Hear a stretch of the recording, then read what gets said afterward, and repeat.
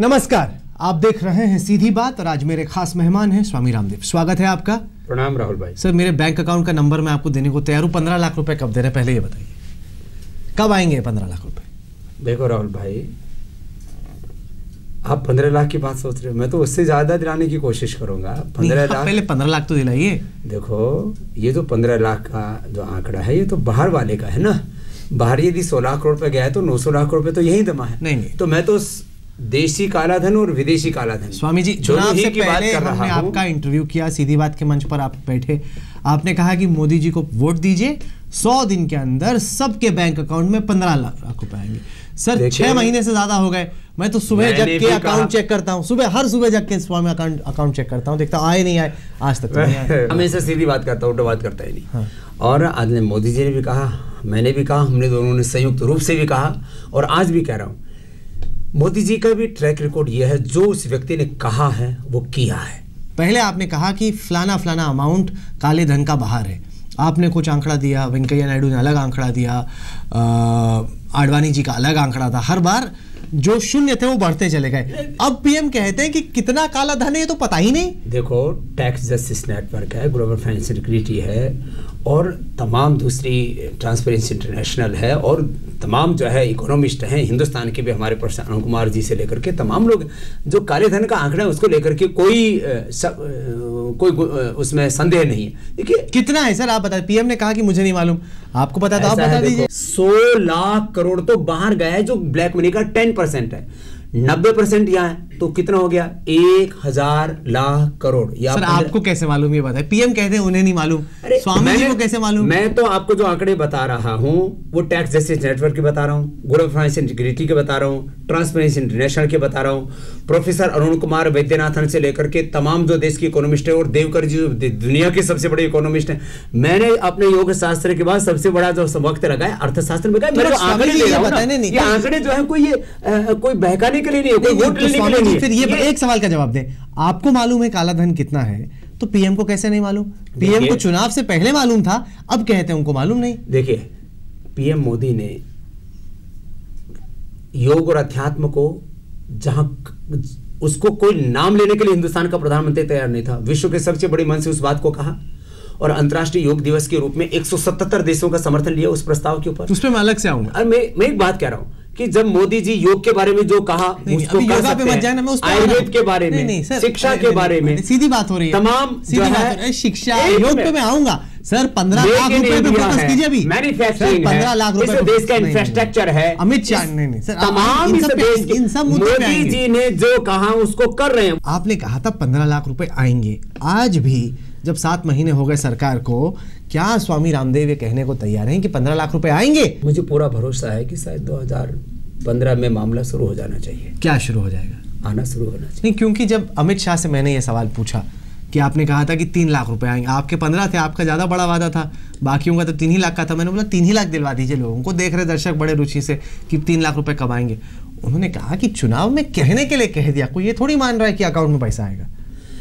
देखिए अकाउंट में तो जिन लोगों के अभी अकाउंट दिखाए गए हैं सुप्रीम कोर्ट में जिनका नाम दिया गया है उन्होंने तो अपने पैसे निकाल भी लिए। कहीं भी निकाल करके लेके जाएँगे। देखिए सबसे बड़ी बात है राहुल भाई इकोनॉमिक ट्रांसपेरेंसी आप कहें बाद में चुनाव के कि वो तो हमने कहने के लिए कह दिया चुनावी रैली में जब आदमी विपक्ष में होता है तो इस तरह की बातें करता है। नहीं देखिए आपको मैं अमित शाह जी के बारे में भी एक बात कहता हूँ। वो व्यक्ति बेबाक है बेदाग है बेलाग है इस मामले में कि कोई लाग लपेटने उसको। वो वो राजनीति कोई पैसा कमाने के लिए नहीं कर रहा है प्रसिद्धि के लिए नहीं कर रहा है। अमित शाह जी को मैंने बहुत करीबी से देखा है। यद्यपि उनका एक आभा मंडल ऐसा बना हुआ है कि भाई, आदमी बहुत कम बोलता है। और पता नहीं क्या सोच रहा होगा। मैं हमेशा देखा उस उस व्यक्ति के भीतर एक ही सोच है कि मेरे पास में जो क्षमता मैं देश के लिए कैसे उसका उपयोग करूँ। तो ये आदरणीय मोदी जी और अमित शाह एक पहली बार हिंदुस्तान की राजनीति में ऐसा बहुत सशक्त नेतृत्व आया है सामने। मेरे पास आपका पुराना बयान है ठीक है? जिसमें आप कह रहे हैं कि कांग्रेस वाले डरते क्यों हैं? ब्लैक मनी वालों का नाम उजागर करने से पब्लिक करने से। अब तो आप ही के पीएम आप ही का वित्त मंत्री डर रहा है सेम करने से। कोई डर नहीं रहे। मोदी जी को किस बात का डर है? किसका डर है? तो नहीं क्यों डरेंगे? क्यों नहीं बता रहे? फिर ब्लैक मनी किसका है? बता दीजिए। ऐसा है बताएँगे भी दिलाएँगे भी। आपका वादा था। आपके चक्कर में करोड़ों लोगों ने वोट दिया। आपकी बात की बहुत आस्था है। आपकी बात को बहुत मानते हैं। मैंने आपने 20 कहा लाख किलोमीटर के पूरे देश भर में 20 वर्षों तो में यात्रा की है। तो 20 बनता करोड़ लोगों की सभाएँ शिविर की है। और तो आज भी मेरा संकल्प अखंड है अडिग है। स्वामी जी आपने बोला था कि काले धन वालों का नाम पब्लिक होना चाहिए। तो अब public मोदी तो जी पीएम है। मैं तो कह रहा हूँ नाम भी public होगा और पैसा भी public को मिलेगा। कब मिलेगा? आपको मोदी जी कुछ अलग बता रहे हैं जो हमें नहीं बता रहे। ऐसा है। फिर? मोदी जी ट्रांसपेरेंट आदमी है।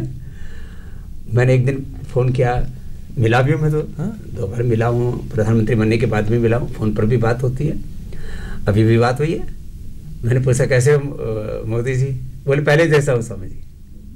उस व्यक्ति में कोई बदलाव नहीं पूर्ण कृतज्ञ व्यक्ति है कृतज्ञ व्यक्ति नहीं है। स्वामी जी यहाँ पे अब बयानबाजी की बात नहीं हो रही। अब एक्शन की बात हो की? आप कह रहे हो एक स्पेसिफिक एक्शन की बात हो नहीं नहीं एक स्पेसिफिक एक्शन की बात हो रही। है अलग से मोदी आपने कहा कि काले धन वाले जो खाता धारक हैं उनके नाम पब्लिक होने चाहिए। अब जब मौका मिला तो पब्लिक पार्टी कर रही? करेगी पार्टी? कब करेगी?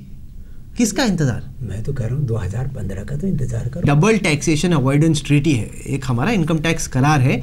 अब इतने बड़े बड़े वकील बैठे हैं मोदी जी जी, थोड़ी देर आपको नहीं, नहीं, economics जे- पढ़ाऊं थोड़ा? आप बढ़ाइए नहीं नहीं मेरा सवाल तो सुन लीजिए सवाल सुन लीजिए फिर जवाब दीजिए कि जेटली साहब इतने बड़े इतने विद्वान वकील हैं। क्या ये डबल टैक्सेशन अवॉइडेंस ट्रीटी नाम की कोई ट्रीटी है? उनको पहले से नहीं मालूम था।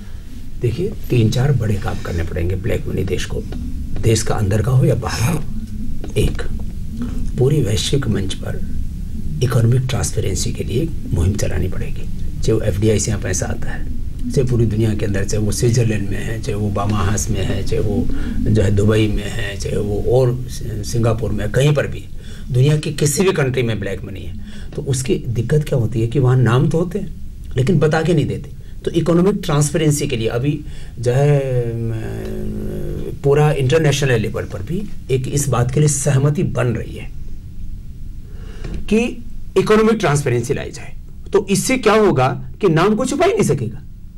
खाली हिंदुस्तान के काले धन वाले नहीं, पूरी दुनिया के करीब करीब आधी अर्थव्यवस्था पर इन्होंने कब्जा किया हुआ चुनाव से पहले आपने ब्लैक मनी ब्लैक मनी का ढोल पीटा। पहले जब चुनाव से पहले बात होती स्वामी ढोल जी- पीटा पाँच साल तक मैंने रामलीला मैदान से लेकर के पूरे हिंदुस्तान में उसके लिए अलग जगाई है। और कहा कि और आज भी ब्लैक मनी करप्शन और व्यवस्था परिवर्तन के अपने मुद्दों पर मैं कायम हूँ। आप तो कायम है सरकार कायम है कि नहीं? नहीं, और सरकार सरकार पैसा लाएगी कि नहीं इस पर? सरकार पैसा लाएगी आज मैं कह रहा हूँ ना अच्छा, स्वामी जी जब हम चुनाव से पहले आपसे बातचीत करते दहाड़ के बोलते थे स्वामी रामदेव कि अब तो आप माइक से कितनी मुश्किल से ये सीधी बात मिली आपसे। आप तो माइक से भागते हैं कि लोग पूछेंगे पैसा का है पैसा ये तो बड़ी दिक्कत हो गई आपको। अरे राहुल भाई साहब, अपना परसेप्शन थोड़ा ठीक करो आप थोड़ा कपाल भाते अनुलोम विलोम क्या करो। हाँ। तो आपको भी जो मैं सोच रहा हूँ ना आपको मेरी मतलब जो साफ़ गोई है मेरी मेरी विवाह की है फकीर आदमी हो? हाँ? आप सड़क पर सच्चाई लोग पूछते हैं आपसे स्वामी जी पंद्रह लाख रुपए का है? नहीं पूछते हैं पूछते लोग? पूछते हैं बाबू जी काला तो क्या कहते हैं? फेसबुक पे पूछते हैं ट्विटर पे पूछते हैं मेरे बहुत फैंस हैं। करीब साठ लाख लोग तो मेरे ट्विटर जैसे वो इंडिया शाइनिंग था ना प्रमोद महाजन का वैसे आपके लिए पंद्रह लाख रुपए। ऐसा देखो मेरे लिए इंडिया साइनिंग मेरे लिए देश के सवा सौ करोड़ लोग हैं। और इस भारत को दिव्य भव्य बनाना इसको आध्यात्मिक आर्थिक महाशक्ति बनाना ये मेरा सपना है ये मेरा तो आप क्या कहते हैं लोगों से? अब कहते हैं स्वामी जी पंद्रह लाख रुपए का ना मैं कह रहा हूँ आएगा। कब? पाँच साल सड़सठ साल हमने इंतज़ार किया। सड़सठ कब आएगा। चलिए आप बताइए कब आएगा? मुझे पूरा भरोसा 2015 में द्वार खुल जाएगा। एक बार रास्ता खुल गया। मतलब एक लाख रुपए आएगा दो लाख रुपए आएँगे। अरे द्वार खुल जाएगा। छोटा द्वार बड़ा द्वार। स्वामी जी बताइए हरिद्वार हरिद्वार हरिद्वार हरिद्वार। हरि का द्वार खुल जाएगा। देखो जो है कोई का, कोई जो है काम होता है ना उसमें एक प्रोसीजर होता है। हम लोग जो है ना खाली बात करते हैं ना तो एकदम से ऐसे करने लगते हैं। प्रोसीजर अभी आज जब विपक्ष में थी पार्टी तब नहीं समझ में आ रहा था प्रोसीजर मैं उस समय भी था। भी तो यही कह रहे मैंने बोला था उनको भी। हाँ। जो है उनसे भी कहा था भाई एक जो प्रोसीजर है उसको तो अडोप्ट कर लो। जब कांग्रेस प्रोसीजर प्रोसीजर कर रही थी तब कोई मानने को तैयार नहीं अभी यू नो ये ये प्रोसीजर को फॉलो करने के लिए पूरी तरह से प्रतिबद्ध है। आप देख रहे हैं सीधी बात। स्वामी रामदेव हमारे साथ हैं। जिस तरीके से चंद्र स्वामी थे या फिर माँ आनंदमयी थी क्या स्वामी रामदेव की भी इस बीजेपी की सरकार में कुछ उसी तरह की एक हैसियत बन रही है? देखिए अपनी हैसियत बनाने के लिए मैंने कुछ नहीं किया। मेरे देश की मेरे देशवासियों की हैसियत बने और आज मोदी जी के प्रधानमंत्री बनने से हिंदुस्तान के भारतीयों में पूरी दुनिया में जो हमारे नाराज़ रहते हैं उनको एक गौरव मिला। अरुण शौरी ने अभी एक बयान दिया। उन्होंने कहा कि खाने पकने की और तालियों, जो प्लेटों की आवाज़ तो बहुत देर से आ रही है, खाना नहीं आ रहा। कि मतलब ढोल तो बहुत पीट लिया, आवाज़ तो बहुत हो गई, ये खाना कब आएगा? अरुण शौरी पूछ रहे देखिए, मोदी जी गरीब तबके से आते हैं और गरीब का दर्द जितना उन्होंने देखा है, उसको जिया है। और जितना संजीदगी से उसको दूर करना चाहते हैं चाहे वो वंचित हैं दलित हैं वाल्मीकि आदिवासी वनवासी हैं शोषित लोग हैं उनके बारे में सोचते हैं। उनका मुद्दा जो है वो आ, मंदिर मस्जिद नहीं है। उनका मुद्दा कोई धर्मांतरण नहीं है। उनका मुद्दा कोई जो है मज़हब मतपंथ नहीं है। उनका मुद्दा ये है कि इस देश में से अभाव कैसे दूर हो। उसके लिए चाहे वो मैन्युफैक्चरिंग की बात हो चाहे वो मेक इन इंडिया की बात हो अब तक कितने नंबर देंगे आप मोदी सरकार को?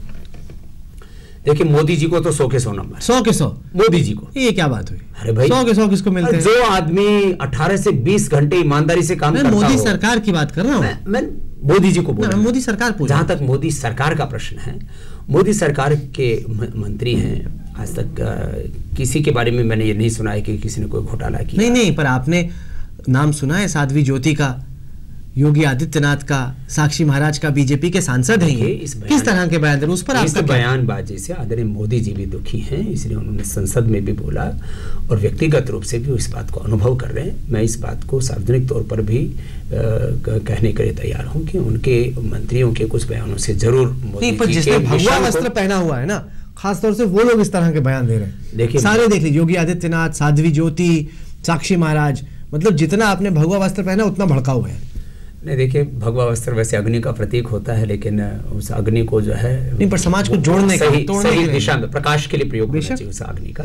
तो मोदी जी भी इस बात से बेहद दुखी हैं तो लोग क्यों नहीं पा रहे आपके साथ नहीं वो मुझे पूरा भरोसा है कि अब इस तरह की कोई गलत बयानबाजी नहीं होगी। इससे इंटरनेशनल लेवल पर भी छवि गड़बड़ होती क्योंकि मोदी जी के दो ही मुद्दे हैं सुशासन और विकास। बड़ी उपलब्धि प्रधानमंत्री की रही है वो ये कि एक अंतर्राष्ट्रीय योगा दिन होगा।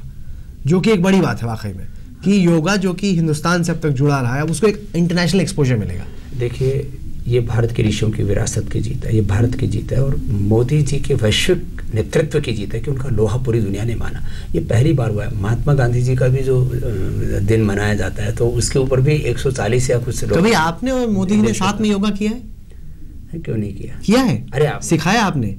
देखिए ये सब बातें ना कि मैंने क्या किया नहीं, है नहीं मैं पूछ रहा हूँ। मेरे मेरी रुचि जानने में। देखो आप आप बहुत अच्छा योगा करते हैं। आपके हिसाब से मोदी जी कैसे योगी है? मोदी जी एक योगी भी हैं एक कर्म योगी भी हैं एक ज्ञान योगी भी हैं और एक भक्ति योगी भी। ज्ञान कर्म और भक्ति हमारे योग की त्रिवेणी है। तो कितना गंभीर है योग को लेकर? खुद के योग को लेकर। देखिए अपनी व्यक्तिगत ज़िंदगी में मोदी जी योग करते हैं रोज करते हैं। और कोई टिप दिया आपने उनको? देखिए ये लेने देने वाली कोई बात मैं पूछ रहा हूँ कि आप इतने बड़े योग गुरु हैं। जब आपने उनका स्टाइल देखा पॉस्चर देखा आप हमेशा सिखाते हैं लोगों को बताते हैं बेहतर करते हैं क्या बताया आपने? देखिए व्यक्तिगत तौर पर मोदी जी का जीवन बहुत ही संयमपूर्ण है सुचितापूर्ण है। और मुझे तो ऐसा लगता है जवानों को भी उनसे प्रेरणा लेने की ज़रूरत है। आप जैसे जवान बहुत जवान है जो ले रहे हैं उनसे प्रेरणा। हाँ। नहीं पर ये बताएँ चलिए योगा पे तो फोकस हुआ। आपको लगता है कि आयुर्वेद पर भी इस तरीके से फोकस करना चाहिए मोदी? देखिए आयुर्वेद पर आते ही पहले एलोपै जो स्वास्थ्य मंत्रालय था ना मैं बोलता था वो एलोपैथी मंत्रालय बन गया। इन्होंने आयुष का मंत्रालय बनाया उसके ऊपर बजट भी आगे देंगे। और योग और आयुर्वेद पर आगे अनुसंधान का भी काम होना बहुत ज़रूरी है क्योंकि योग मात्र एक व्यायाम तो नहीं है खाली आसन तो नहीं है। तो योग एक संपूर्ण चिकित्सा विज्ञान है। सौ लाख करोड़ रुपये पचास लाख करोड़ करीब दवाओं में और पचास लाख करोड़ करीब ऐसे ही जो है ये तमाम तरह के जो विटामिन इनमें। सौ लाख करोड़ रुपये खर्च हो रहा है। सर आप जो आंकड़े लेना बड़े ख्याल से लें ये आंकड़े फिर वो बन जाएँगे आपकी इंडिया मेरी मेरी मेरी कभी सिर क्योंकि आपने कहा कि 2015 में वो द्वार खुलेंगे जिससे ब्लैक मनी वापस आएगा। पंद्रह लाख नहीं कम से कम एक लाख से शुरुआत हो जब अगली दफ़ा हमारी मुलाकात हो नए साल में। तब हम पूछेंगे स्वामी जी नहीं मैं पूछेंगे नहीं मैं ही बताऊँगा मेरे बैंक अकाउंट में तो आना है सभी के आपने बोला अकाउंट में आएगा तो मैं बताऊँगा आपको कितना देखिए मोदी जी के राज में योग के अच्छे दिन आए हैं आयुर्वेद के अच्छे दिन आए हैं भारतीय संस्कृति के अच्छे दिन आए हैं भारतीयों के भी अच्छे दिन आएँगे। अच्छे दिन तब आएँगे जब सड़क पर चलता आम आदमी मानेगा कि उसकी ज़िंदगी में बदलाव आया है उसके लिए अच्छे दिन आए। स्वामी जी आपने हमें वक्त दिया इसके लिए बहुत बहुत शुक्रिया। प्रणाम।